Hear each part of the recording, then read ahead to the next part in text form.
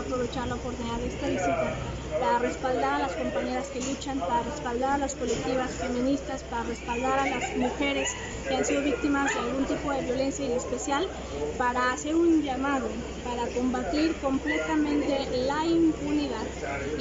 indiferencia que han tenido muchas servidoras y servidores públicos, muchas condiciones de niveles de Estado para buscar la justicia a los feminicidios y para además eh, no tener una visión de no revictimización de las víctimas.